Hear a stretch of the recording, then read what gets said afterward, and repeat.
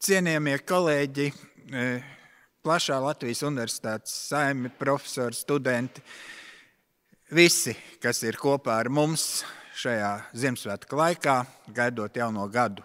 Paldies par kopīgi paveikto. Paldies, ka atbalstījāt mūsu, mūsu studiju, zinātnes, pētniecības darbā, mūsu attīstības projektos.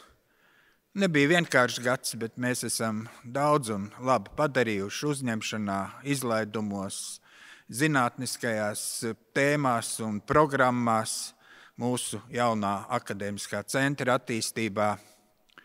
Paldies visiem par līdzdalību, ieguldījumu. Paliksim kopā un strādāsim arī nākamajā gadā.